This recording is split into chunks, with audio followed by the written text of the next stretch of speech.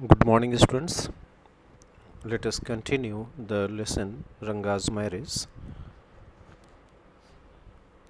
Lines from the textbook are the, This priceless commodity, the English language, was not so widespread in our village a decade ago.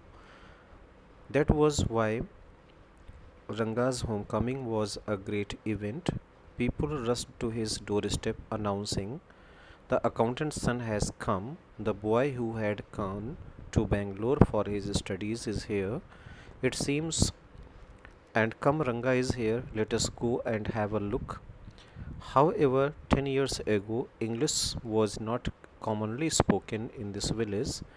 When the villagers came to know that Ranga, the accountant's son, was coming home from Bangalore, everyone got excited and rushed to his home to have a glance at him. So this was the explanation of the above passage further lines are attracted by the crowd i too went and stood in the courtyard and asked why have all these people come? There's no performing monkey here. A boy a fellow without any brains, said loud enough for everyone to hear, What are you doing here then? A youngster, immature, and without any manners, thinking that all these things were now of the past, I kept quiet. Explanation is fascinated by all the crowd. The narrator too went there and asked people as to why they were gathered because he couldn't see anything entertaining happening there like a monkey performing. A boy without brains shouted loud enough for everyone to hear, and in a rude way, the narrator called him immature. Further lines are Seeing so many people there, Ranga came out with a smile on his face. Had we all gone inside, the place would have turned into what people call the black hole of Calcutta. Thank God it did not. Everyone was surprised to see that Ranga was the same as he had been six months ago when he had first left our village. An old lady who was near him ran her hand over his chest, looked into his eyes, and said, The Janewara is still there. He hasn't lost his caste she went away soon after that. Ranga laughed. Janivada means in Kannada the sacred thread worn by Brahmins.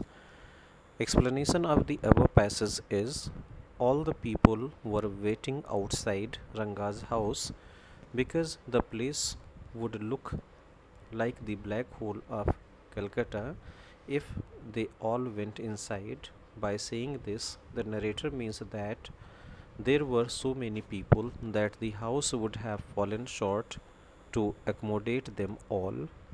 The Saranga came outside with a smile on his face. Everyone was so amazed to see that Ranga had not changed a bit after he left six months ago.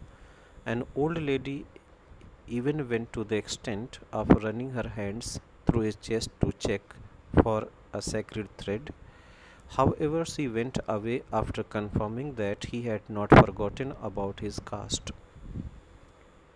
Further lines are once they realized that Ranga still had the same hands, legs, eyes, and nose, the crowd melted away like a lump of sugar in a child's mouth.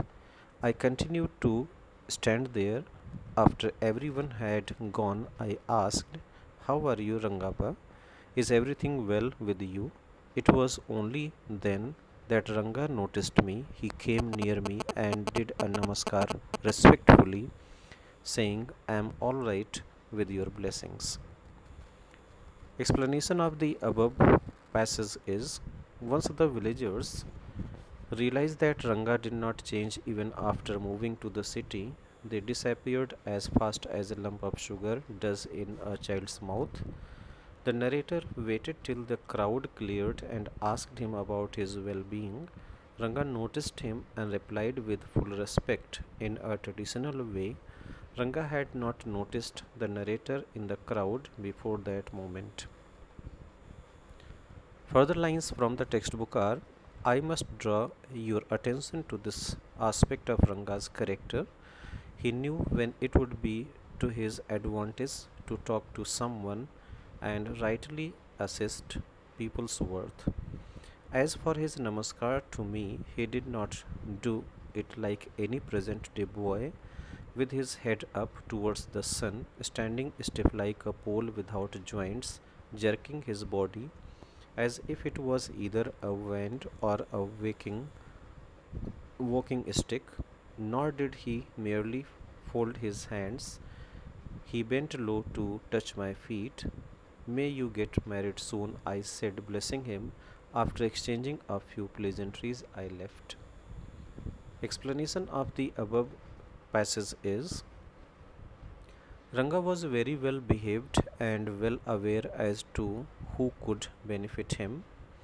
He was one of those who could analyze someone's worth rightfully, for how he greeted the narrator, greeted means here welcomed the narrator, he bent low and touched his feet, thereby seeking his blessings. It was not the present day namaskar where children would do it casually, it was a proper traditional one the narrator blessed him that he might get married soon and then left. Further lines from the textbook are that afternoon, when I was resting, Ranga came to my house with a couple of oranges in his hand. A generous, considerate fellow, it would be a fine thing to have him marry, settle down, and be of service to society. I thought for a while we talked about this and that. Then I came to the point Rangappa, when do you plan to get married? I'm not going to get married now, he said. Why not? I need to find the right girl. I know an officer who got married only six months ago. He's about 30 and his wife is 25. I'm told they will be able to talk lovingly to each other. Let us say I married a very young girl she may take my words spoken in love as words spoken in anger. Recently, a troupe in Bangalore staged the play Shakuntala. There is no question of Dushyant falling in love with Shakuntala.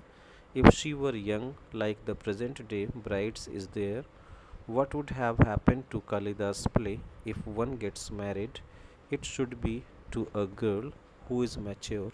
Otherwise, one should remain a bachelor that's why I am not marrying now. Some meanings are here. Considerate means thoughtful or concerned. Troupe means here a group of dancers, actors, or other entertainers who tour to different venues.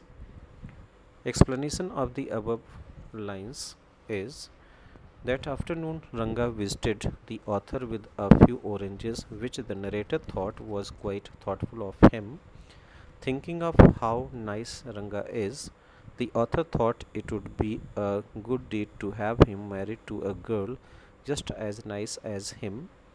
They chatted for a while and then the narrator asked Ranga about his views on getting married. Ranga expresses that he doesn't intend on marrying now because he intend, intends on finding the right girl he cites the example of an officer who got married at the age of 30 to a woman aged 25. Now, since these are both adults, they would understand each other's actions and behavior. Whereas, suppose the narrator finds a girl who is very young, she could understand his words or actions because she is not mature uh, enough. He even mentions the love story of Shakuntala and Dushyant from Mahabharata and that he would not have fallen in love with Shakuntala if she were too young. In that case, Kalidas' play also would have not existed. That is why he intends on staying a bachelor till he finds the right girl.